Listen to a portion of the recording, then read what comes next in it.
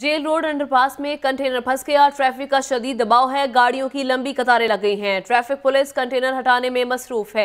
इस हवाले से बात कर लेते हैं हमारे नुमाइंदे अरसलान हैदर से।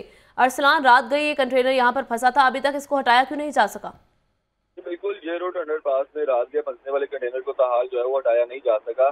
सिटी ट्रैफ़िक पुलिस और दीगर टीमें जो है वो कंटेनर को उठाने में मसरूफ है। केनाल रोड पर ट्रैफ़िक के हवाले से जो है काफ़ी वार्डन भी तैनात किए गए हैं। लेकिन जो ट्रैफ़िक की सूरत है वो शदीद जैम है क्योंकि सुबह सवेरे का टाइम है लोग अपने दफातर स्कूल कॉलेजेस में जा रहे हैं।